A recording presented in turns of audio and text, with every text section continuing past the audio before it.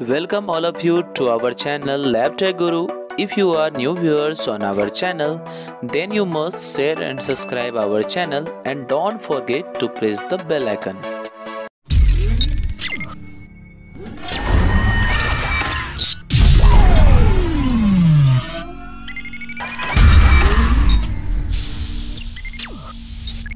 हमारा आज का पहला क्वेश्चन है which of the following is not a physical method for selection of pure culture आपके ऑप्शन है heat treatment pH of the media cell size and motility and the last option is use of dilute media इसका right right answer हो जाएगा option D use of dilute media सबसे पहले इसके बारे में समझ लेते हैं।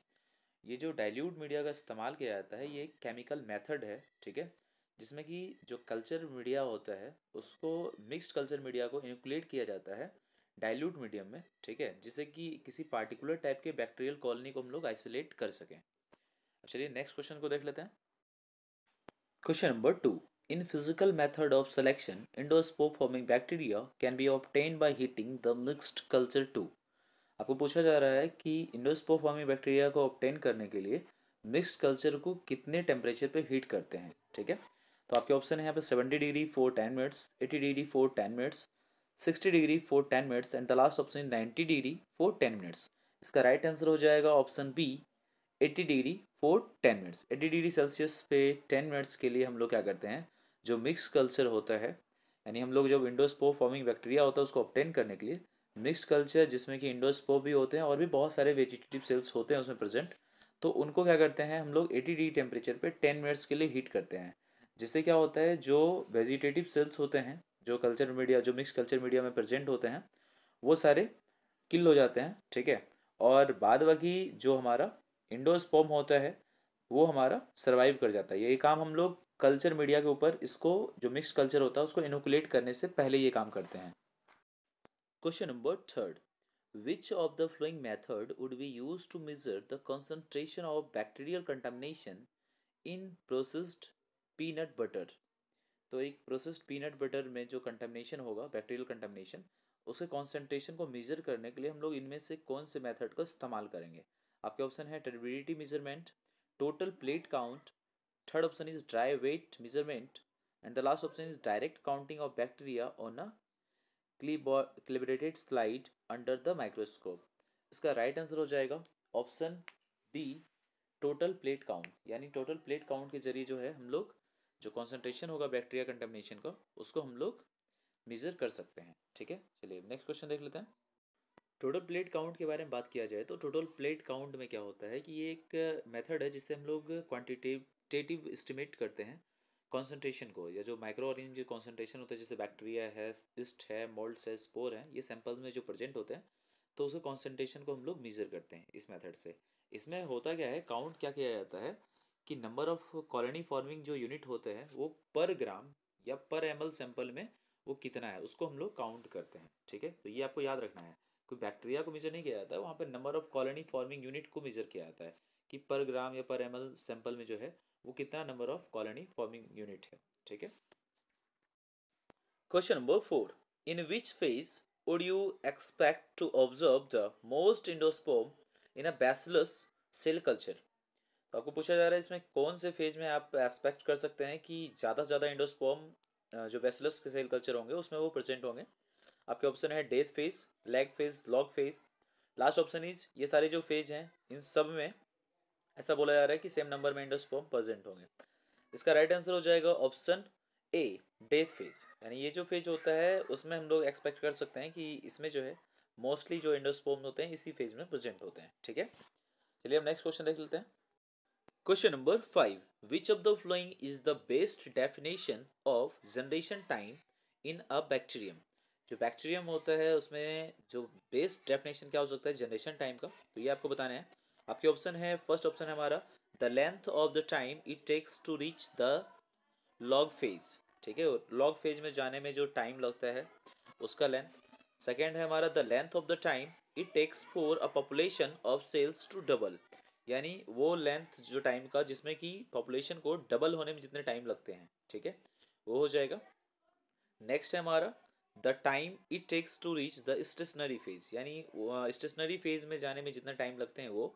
और नेक्स्ट जो हमारा ऑप्शन है the length of the time of the exponential phase exponential phase में जाने में जो टाइम लगते हैं लेंथ उसका लेंथ इसका राइट आंसर हो जाएगा option B the length of the time it takes for population of cells to double यानी इसको डबलिंग टाइम कह सकते हैं पॉपुलेशन का डबलिंग टाइम जिसमें पॉपुलेशन डबल हो जाता है, उस टाइम जो है, वो जो हमारा डेफिनेशन है बेस्ट डेफिनेशन है जनरेशन टाइम का, ठीक है? चलिए नेक्स्ट क्वेश्चन देख लेते हैं।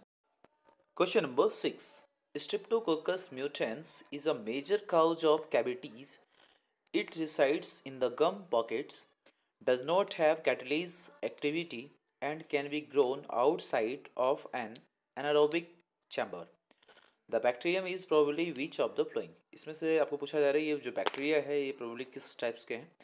तो ये आपके ऑप्शन है facultative anaerobe obligate anaerobe aerobe obligate anaerobe and the last option is aerotolerant anaerobe इसका राइट आंसर हो जाएगा option D an aerotolerant anaerobe ठीक है? ये जो स्ट्रेप्टोकोकस म्यूटेंस होते हैं, जिसकी वजह से कैविटी होती है। आपको पता है कि जो टूथ कैविटी होता है, वो इसी बैक्टीरिया की वजह से होता है। ठीक है? तो चलिए हम सबसे पहले एरोटोलरेंट एनरोब के बारे में समझते हैं। ये जो एरोटोलरेंट एनरोब होते हैं, ये फर्मेंटेशन के लिए, ठीक है? ये जो फर्मेंटेशन का इस्तेमाल मतलब ये एक तरह से बोल सकते हो आप, ये फर्मेंट करने वाले बैक्टीरिया होते हैं फर्मेंटेशन करते हैं, ठीक है? और ये प्रोड्यूस करते हैं एटीपी यानी ये आप ये भी कर सकते हो कि ये ऑक्सीजन के बिना इस्तेमाल किए ये एटीपी का फॉर्मेशन कर लेते हैं। ठीक है? तो ये ऑक्सीजन का इस्तेमाल नहीं करते, लेकिन खुद को प्रोटेक्ट करते हैं, ठीक है? जो रिएक्टिव ऑक्सीजन मॉलिक्यूल्स होते हैं, उनसे ये खुद को बचाते हैं प्रोटेक्ट करते हैं। साथ में जैसे एग्ज़ाम्पल के लिए आपको पूछा जाए तो लैक्टोबेसिली स्ट्रिप्टोको स्ट्रिप्टोकोकाई तो ये सारे स्ट्रिप्टोकोकाई ये सारे इससे एग्ज़ाम्पल हो जाएँगे, ठीक है? और ये सर्वाइव कर सकते हैं। ये ऐसा नहीं कि ये ऑक्सीजन के प्रेजेंस में सर्वाइव नहीं करेंगे। ये ऑक्सीजन के प्रेजेंस में भी सर्वाइव कर सकते हैं, ये ऐसे बैक्टीरिया हैं, ठीक है? चलिए नेक्स्ट क्वेश्चन देख लेते हैं। Question number seven bacteria isolated from a hot tub at thirty nine degree Celsius are probably which of the following यानी वो बैक्टीरिया जिसको कि हम लोग आइसोलेट कर रहे हैं एक हॉट टब से, ठीक है? और उसका टेम्परेचर है थर्टी नाइन डिग्री सेल्सियस तो आपको बताना है वो बैक्टीरिया कौन सा होगा? प्रोबली कौन से बैक्टीरिया होने के चांसेस हैं? आपके ऑप्शन है thermophiles psychrotrophs third option is mesophiles and the last option is hyperthermophiles इसका राइट आंसर हो जाएगा ऑप्शन सी मीजोफाइल्स अब सबसे पहले तो आप ये देख लेते हैं थर्मोफाइल्स के बारे में साइक्रो साइक्रोट्रॉप्स के बारे में, इन सब के बारे में बात कर लेते हैं। जो थर्मोफाइल्स जो बैक्टीरिया होते हैं उनके लिए ऑप्टिमम टेम्परेचर जो होता है, वो हमारा forty one degree to one twenty two degree Celsius है, ठीक है? इनको हम लोग अर्लीस्ट बैक्टीरिया भी कह सकते हैं, क्योंकि ये बहुत ज़्यादा मतलब हीट रेसिस्टेंट बैक्टीरिया हैं ये। तो स्टार्टिंग टाइम में ये बैक्टीरिया ग्रो किया गया होगा ग्रो हुआ होगा इनका।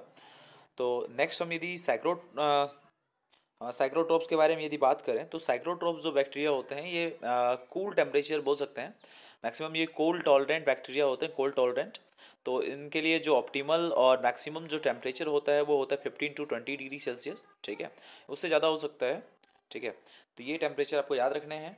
और नेक्स्ट हमारा जो हाइपर थर्मोफाइल्स है तो हाइपर थर्मोफाइल्स के बारे में तो ये लगभग एटी डिग्री सेल्सियस से ज़्यादा।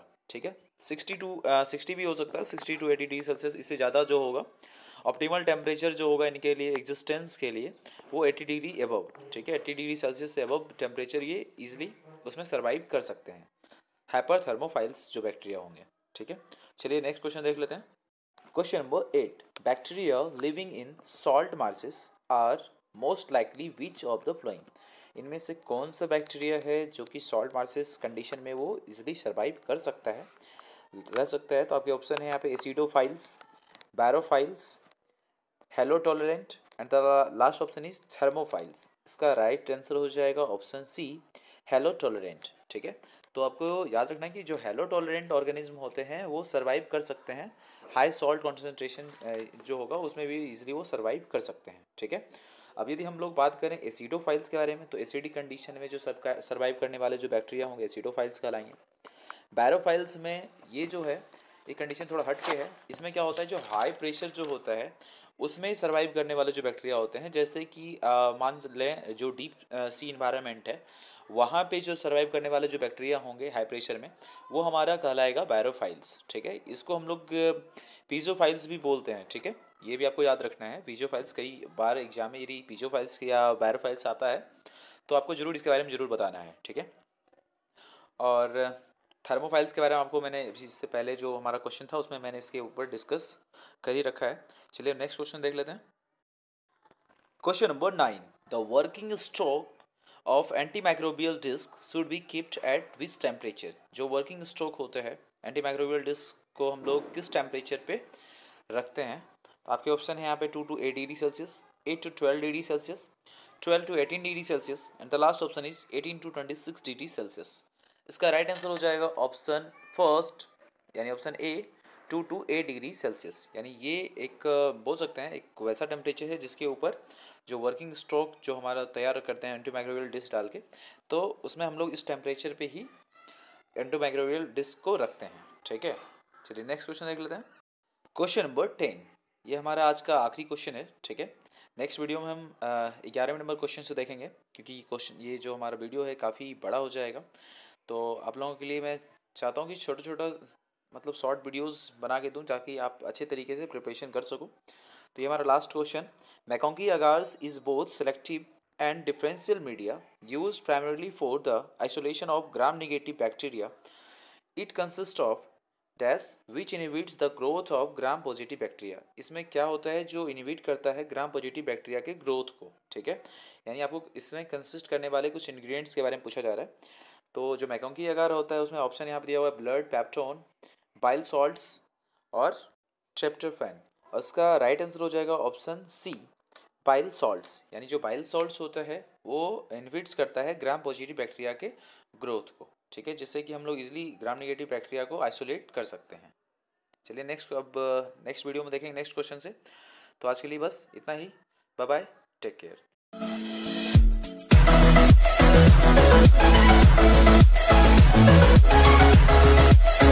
Thank